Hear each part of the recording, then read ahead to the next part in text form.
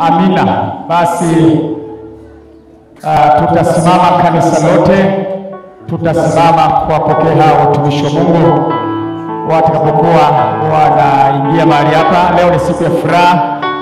Hebu fungua moyo wako. Ni siku ya furaha, ni siku ya amani, ni tukio kubwa katika ufalme wa Mungu, ni tukio kubwa. Kwa tutaenda kuimba kwa pamoja tenzi hiyo namba 67. Tutaenda kuimba kwa pamoja tenzi namba 67. Amina.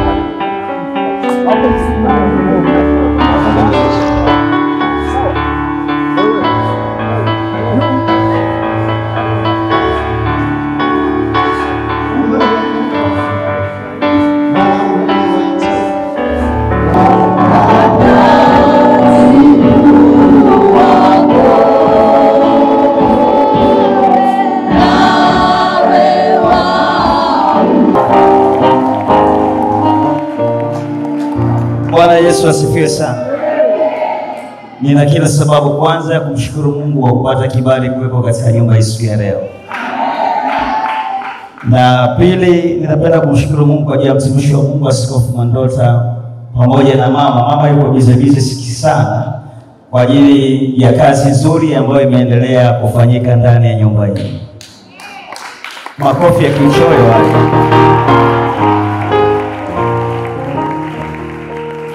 Namshukuru Mungu pia nimemwona Askofu Ndesalio Mlaki pamoja na mama. Mungu awabariki sana, na watumishi wa Mungu mbalimbali ambao wako katika madhabahu ya Mungu awabariki. Sijasikia amen kwa ajili yao. Sina mengi sana ya kuzungumza jioni ya leo, lakini tuna kila sababu ya kumshukuru Mungu kwa ajili ya kuongeza watendakazi katika shamba lake. Tunahitaji watendakazi kweli nyakati za mwisho za kumalizia. Yesu yuko malangoni, anarudi. Dalili zote za kurudi kwa Kristo zimekwisha kutimia, na mambo mengi yanayofanyika sasa ni maandalizi, na sisi ni mashahidi. Maandalizi ya Antichrist government, serikali ya mpiga Kristo, tunayaona mbele ya macho yetu. Sasa kama tutakaa chini na kuanza kujibariki wenyewe bila kuinua watenda kazi, tutakuta kazi itakuwa ni ngumu, alafu tutachelewesha. Lakini ashukuriwe Mungu kwa ajili ya kanisa hili. Sijasikia makofi kwa ajili ya kanisa hili, nisikie shangwe na vigeregere kwa ajili ya kazi hii, kwa sababu kila mguu wangu unapokanyaga hapa, kuna watu wanainuliwa tena kwenda kwenye mavuno. Sijasikia amen, sijasikia amen. Sijasikia ameni ndani ya nyumba hii. Kuna watu ndani ya nyumba hii siku ya leo. Nauliza, kuna watu ndani ya nyumba hii siku ya leo? Mbona sijasikia vigeregere kwa wamama? Sawa, sasa kabla tukio leo ni tukio maalum sana. Mwambie jirani yako tukio leo ni tukio maalum sana. Nimesema mgeukie jirani yako afu mwambie tukio leo ni tukio maalum sana. Alafu mwangalie usoni, mwambie tena tukio la leo ni tukio la maalum sana. Sijasikia bado. Mwambie tena tukio la leo ni tukio maalum sana. Kwa hiyo hatuna budi kufurahi na kumshangilia Bwana kwa ajili ya watendakazi hao. Kama mbingu inafurahi kwa ajili ya mwenye dhambi mmoja anapookoka, je, Mungu anapoinua watendakazi waende kwenye shamba lake, mbingu inafurahi kiasi gani? Eh? Leo huko mbinguni kuna shangwe isiyokuwa ya kawaida. Kwa hiyo na sisi tushiriki na ile mbingu kwenye hii sherehe na furaha na kutiwa mafuta kwa ajili ya watumishi wa Mungu. Sasa napozungumza kutiwa mafuta, sio mafuta ya mzeituni wala mafuta ya nazi wala mafuta si ya nyoka. Ni mafuta ya Roho Mtakatifu yanashuka juu ya siku leo. Na wakati wote mafuta yanaposhuka juu ya mtu, vifungo vinapasuliwa, simba anapasuliwa. Si unakumbuka mafuta yalishuka juu ya Samson? Simba ilikuwaje? Alipasuliwa kama anapasuliwa mwanambuzi. Ndivyo mafuta yanaposhuka juu ya watumishi wa Mungu jioni ya leo. Sijasikia amen, sijasikia amen, sijasikia amen ndani ya nyumba hii. Sijasikia kelele za shangwe na ameni ndani ya nyumba hii. Sijasikia kelele za kimbingu ndani ya nyumba hii.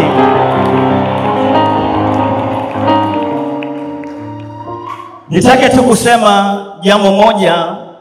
Wakati Mungu alipokuwa anazungumza na Musa kwa habari ya utumishi wote aliyofanya, alimpandisha katika kilele cha mlima unaitwa Pisga, akamwonyesha ile nchi nzuri ya Kanaani, alafu akamwambia Musa kwamba nchi nzuri unaiona wewe hautavuka, lakini mtumishi wako Yoshua ndiye atakayevuka. Na akamwambia kwamba unatakiwa umwekee mikono Musa au umwekee mikono Yoshua ili afanye kazi hiyo ya kuwapeleka watu katika nchi ya ahadi. Baada ya kufanya yale yote aliyoelekezwa na Mungu, Biblia inasema Musa alikufa. Baada ya kufa kwa Musa, Mungu mwenyewe akamzika Musa. Sasa katika kitabu cha Yoshua tunaona jinsi Mungu anavyozungumza sasa na Yoshua. Tuende katika kitabu cha Yoshua sura ya kwanza. Yoshua sura ile ya kwanza kuanzia mstari wa kwanza. Yoshua sura ile ya kwanza mstari wa kwanza anasema, ikawa baada ya kufa kwake Musa mtumishi wa Bwana, Bwana akamwambia Yoshua mwana wa Nuni mtumishi wa Musa. Naomba tuseme Bwana akamwambia Yoshua mwana wa Nuni mtumishi wa Musa. Sasa hapa utaona katika hili andiko inatofautishwa kasi ya Musa kwanza na Yoshua. Anasema Mungu ba baada ya mtumishi wa Bwana Musa kufariki, Mungu anamwambia sasa Yoshua mwana wa Nuni mtumishi wa Musa. Kwa hiyo tunaona tofauti kati ya Musa na kati ya Yoshua, na, na Yoshua. Musa anatajwa kama mtumishi wa Bwana, alafu Yoshua anatajwa kama mtumishi wa Musa. Tunapokuwa tunatumika katika kazi ya Mungu, lazima kwanza tuwe watumishi wa mtu fulani. Haujasema amina, hujasema amina, hujasema amina. Lazima utumike kama mtumishi wa fulani, ili kusudi Mungu aweze kukupa nafasi ya kuwa mtumishi wa Bwana. Haujasema amina ndani ya nyumba hii. Sijasikia amina ndani ya nyumba hii. Anaambiwa Musa mtumishi wa Bwana amekufa, na anaambiwa mwana wa Nuni, Yoshua mwana wa Nuni anaambiwa mtumishi wa Musa, anasema anamwambia, kuna maneno ambayo Mungu anamwambia sasa yeye aliyekuwa mtumishi wa Musa, na ilikuwa inaonekana kabisa kwamba Yoshua kazi yake ilikuwa ni kumsaidia Musa katika mambo yanayohusiana na utumishi ule wa Musa. Alikuwa anaonekana wakati mwingine labda atamnamwisha au ataleta kitu fulani kwa ajili kwa ajili ya Musa, ataonekana anafanya kazi zinazoonekana ni nyonge sana, lakini kuna kitu ambacho Mungu alikuwa anakiweka ndani ya Yoshua. Sijasikia amina ndani ya nyumba hii, sijasikia kelele za amina ndani ya nyumba hii. Watumishi wanawekewa mikono leo sio watumishi wa kawaida. Haujasema amina wewe? Nasema sio watumishi wa kawaida. Walikuwa wanaonekana wakati mwingine ni viongozi wa makanisa nyumbani au ni viongozi wa sheki, lakini leo wanabadilishwa. Haujasema, hujapiga kelele za amina ndani ya nyumba hii. Wengine walikuwa wanaonekana ni mama wachungaji, leo sio mama mchungaji tena, ni mtumishi wa nani? Ah, sijasikia amina ndani ya nyumba hii, sijasikia kelele za amina ndani ya nyumba hii. Wengine wanaweza wakawa walikuwa labda ni mafundi mitambo tu, labda wengine walikuwa wanaonekana ni wapiga drum, labda wengine walikuwa wanaonekana ni wasafishaji tu wa kanisa, lakini leo majina yao yanabadilishwa. Nasema majina yao yanabadilishwa, nasema majina yao yanabadilishwa, nasema majina yao yanabadilishwa. Wanatoka katika kuwa watumishi wa Musa na wanakuwa watumishi wa Bwana. Sijasikia amina ndani ya nyumba hii, sijasikia kelele za amina ndani ya nyumba hii. Wanatoka kuwa watumishi wa Musa, wanakuwa watumishi wa Bwana, wanatoka katika vyombo, wanakuwa vyombo vya Kristo. Sijasikia amina ndani ya nyumba hii. Kwa sababu hiyo, lazima ulichukulie tukio hili ni tukio la tofauti. Mwambie jirani yako kwamba hili tukio ni tukio la tofauti. Mtafute mwingine, mwambie hili tukio ni tukio la tofauti. Simama kwa miguu yako, tafuta wawili watatu, waambie hili ni tukio la tofauti.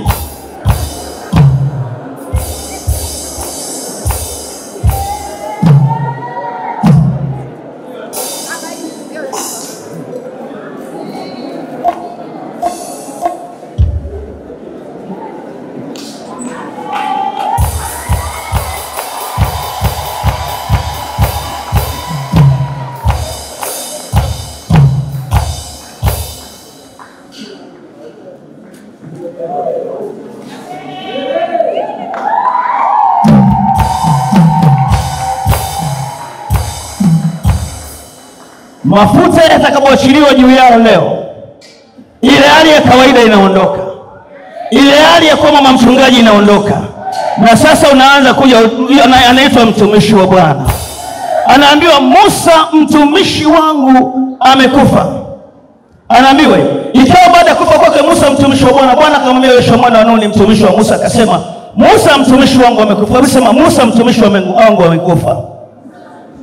Tena sasa hapa litokea tukio la kweli kweli la kufa kwa mtumishi wa Mungu Musa, na Mungu anamwambia mtumishi wangu amekufa. Vifo viko vifo vya aina mbili, kuna kifo cha kiroho cha mtumishi wa Mungu au kifo kabisa cha kawaida cha kimwili. Sasa huyo alikuwa amekufa kimwili. Nyakati hizi tulizo nazo, kuna watumishi wanakufa, kuna watumishi wanainuliwa. Sijasikia kelele za amina ndani ya nyumba hii kuna watumishi wanakufa, hawezi kwenda, hawezi tena kuwapeleka watu Kanani, hawezi kuwapeleka watu mbinguni, wanakufa, alafu kinainuliwa kizazi cha Joshua. Nasema kinainuliwa kizazi cha Joshua, nasema kinainuliwa kizazi cha Joshua, nasema kinainuliwa kizazi cha Joshua, nasema kinainuliwa kizazi cha Joshua. Sasa sikiliza, kizazi cha Joshua ni kizazi cha tofauti. Kizazi cha Joshua ni kizazi chenye ujasiri. Kizazi cha Joshua ni kizazi chenye mamlaka. Sijasikia amina ndani ya nyumba hiyo. Kutokana na mazingira tunayoendea kanisa nyakati hizi, lazima wainuke wakina Yoshua wengi ndani ya nyumba hii. Kuna wakina Yoshua, sijasikia kelele za amina ndani ya nyumba hii. Kuna wakina Yoshua wanaoinuliwa ambao wao hawataangalia uso wa mtu, wao hawatababaika na serikali, wao hawatababaika na mtu anasema nini. Watu watapiga gospel, watazungumza ukali wa neno, hawataangalia tula ya mtu wala uso wa mtu wala pua ya mtu. Sikiliza, Musa amekufa, hawezi tena kuwapeleka watu Kanani, kaisha ishiwa pumzi. Ah, ah. Nasema Musa kaishiwa pumzi, yuko anawayawaya namna Musa kafa kafa. Yoshua lazima ainuke. Kuna Yoshua anainuka jioni ya leo. Nasema kuna Yoshua anainuka jioni ya leo.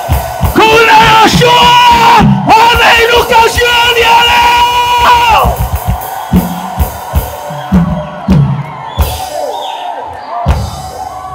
Sijasikia kelele za shangwe na amina ndani ya nyumba hii. Sijasikia kelele za shangwe ndani ya nyumba hii, na ndio maana watumishi wa Mungu tuko kwenye kizazi hiki cha kumalizia, kizazi cha ujasiri. Sijasikia amina, kizazi ambacho akiangalia uso wa nani, wa mtu. Sasa msijichanganye mkaingia kwenye siasa. Oh, mimi nataka kuwa mwenyekiti wa serikali ya mtaa. Wewe, hii ni zaidi ya mwenyekiti wa serikali ya mtaa, hii ni zaidi ya mjumbe wa nyumba kumi sio mkuu wa wilaya, ya mkuu wa wilaya bwana. Mimi nakwambia mbingu yenyewe ije niambie unatakiwa kuwa mkuu kuwa kuwa mbunge, lazima nibishane na mbingu kwanza.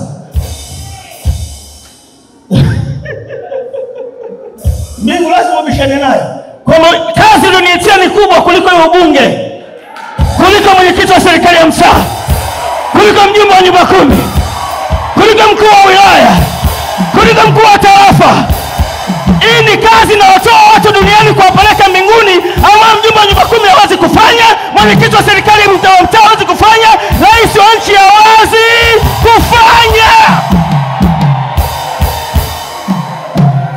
Sijasikia kelele za amina ndani ya nyumba hii.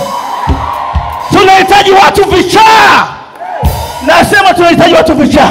na humu ndani ya nyumba hii wapo, nasema wapo, nasema wapo, nasema wapo, nasema wapo, nasema wapo.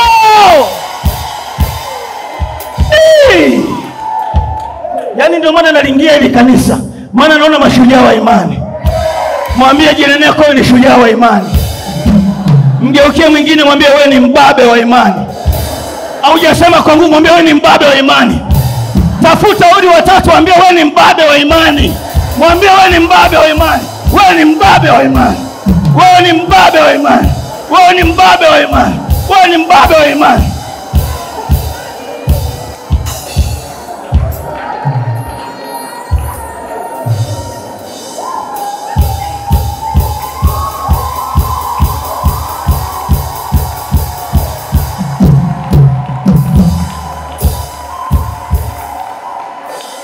tunahitaji watu wa babe. Nasema tunahitaji watu wa babe.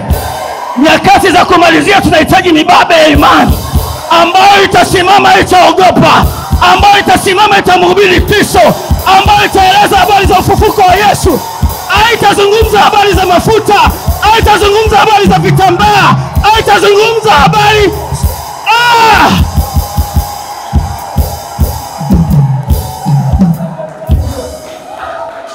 Sijasikia. Yes Yesu, Yesu, Yesu, Yesu, Yesu!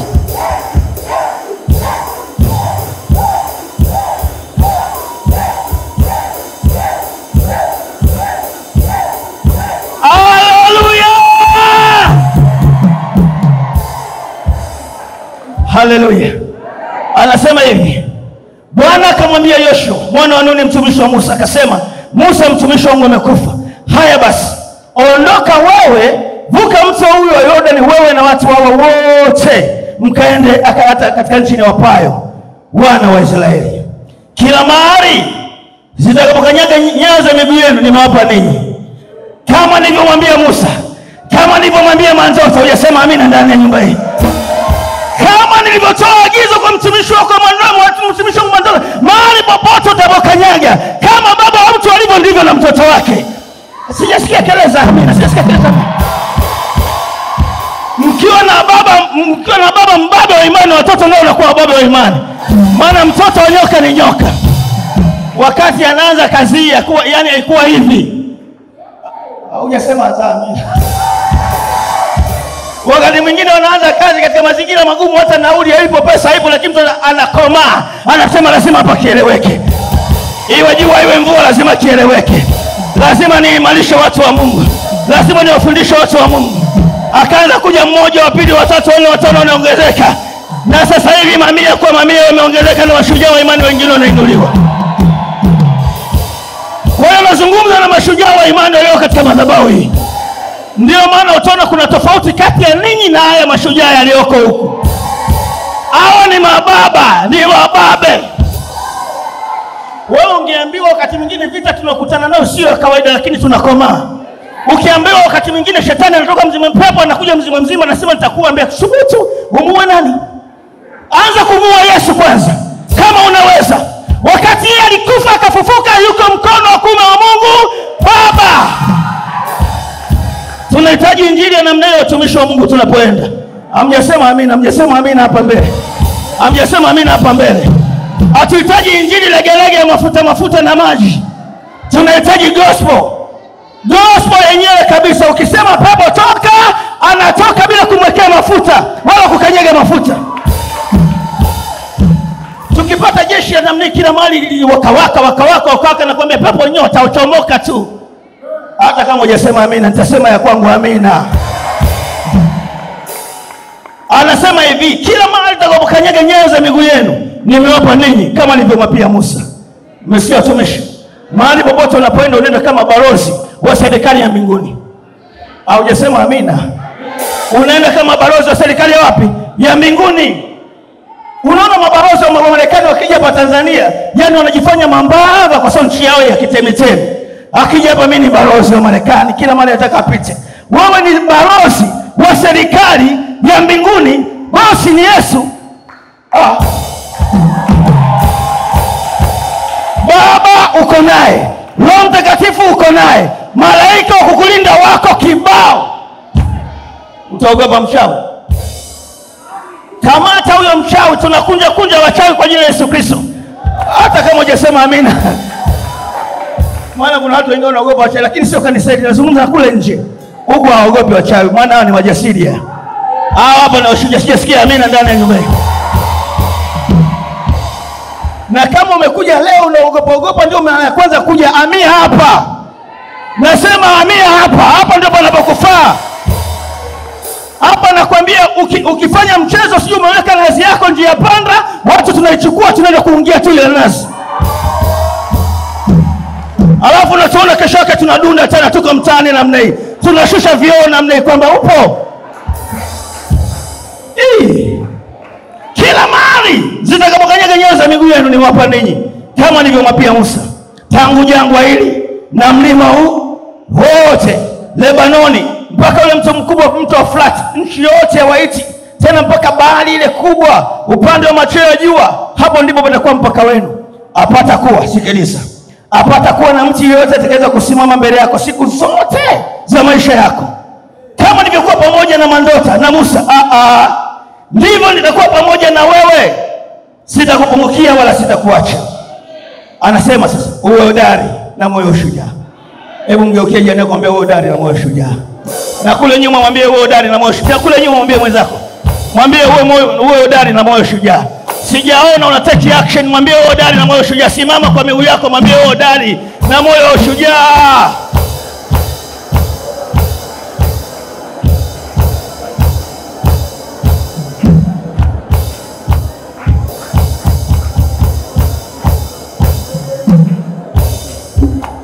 Sikiliza, kuna mambo ambayo Musa alimtaka, Mungu alikuwa anamtaka Yoshua awe nayo, awe kwanza hodari na moyo nini wa ushujaa, awe jasiri, asiwe mwoga mwoga.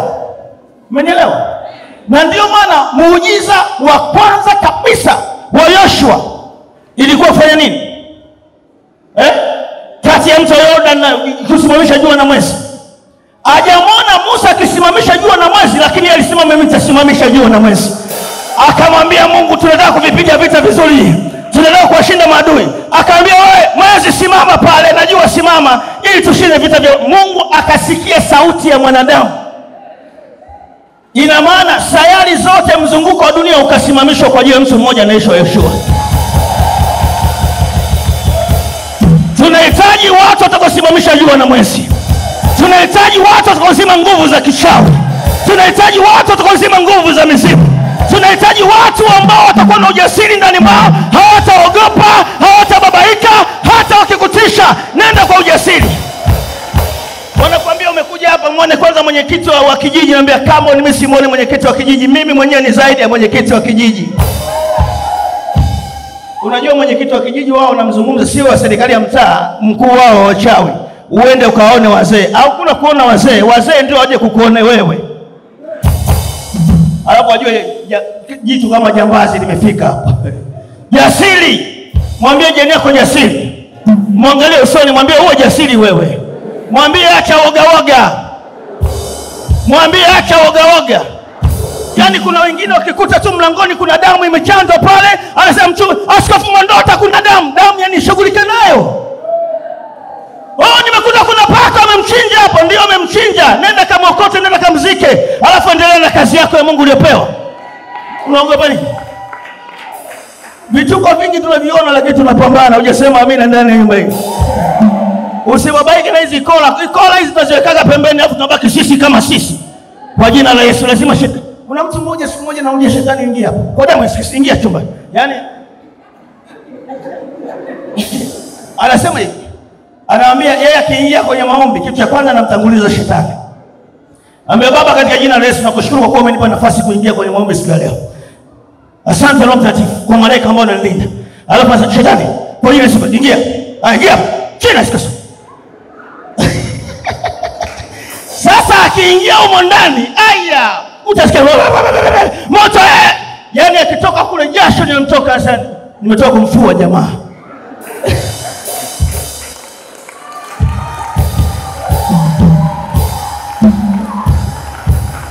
Ndio tunahitaji watu wajasiri wa namna hiyo. Tunahitaji watu hodari wa namna hiyo ambao hawataogopa, hawatababaika, hawatatishwa na mtu. Ah. Ndio, ndio, ndio, ndio tunaenda kumalizia kazi. Kumalizia kazi, unahitaji watu vichaa wa Yesu, watu ambao kama wamechizika kwa Yesu hivi, kama wako alafu kama hawapo hivi. Ukini- Ukiniua mimi, sinanipeleka mbinguni wewe ambapo huwezi kwenda yaani unanisogeza. Wewe unafikiri umempiga chura umempunguzia safari kumbe umemrahisishia safari. Akianguka pale anaruka ruka tena namna hii.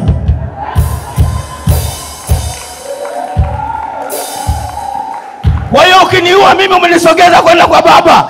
Wakati shetani huwezi kwenda. Ndio maana hawezi kuniua bado mapema mpaka nimalize kazi ndio tu moja sema amina wewe. Wema wewe askofu mandota ndio kazi kaianza alafu muue ende wapi? Eti korona korona hakuna cha korona wala kalana wote.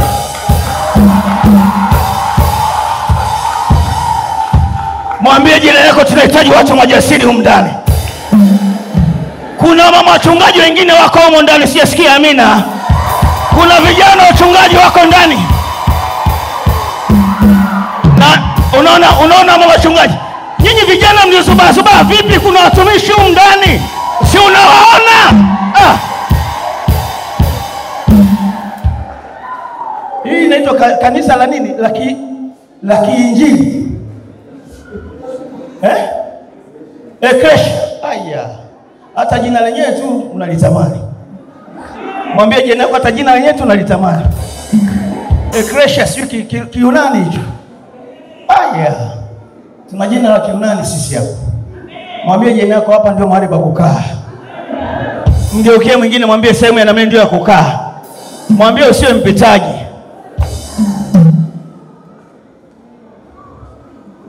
kimya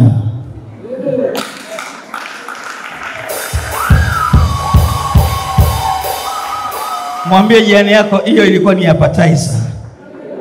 Mwambie kabla main dish. Mwambie kabla main dish. Mwambie jirani yako kabla main dish tunakunywa supu kwanza. Kwa hiyo ni supu kabla chakula kikuu kinachokuja haujasema amina ndani ya nyumba hii ngoja nimalizie hiki ninachotaka kuzungumza. Anasema hivi, uhodari na ushujaa mwingi, uangalie kutenda sawasawa na sheria yote iliyokuamuru Musa- Musa mtumishi wangu, usiache kwenda mkono wa kuume au wa kushoto, upate kufanikiwa sana kila uendako. Unasikia lile? Maana hatuwezi kutenda neno lolote kinyume cha kweli, bali kwa ajili ya nini? Ya kweli. Beba hilo neno. Sio unatulagailagai, mara umekuja na mafuta yako ya nazi, unatuambia mafuta mzeituni kutoka sijui wapi. Wengine wamekuja na udongo, sio unasema udongo kutoka bahari nyeusi, sio bahari nyekundu, bahari iliyokufa.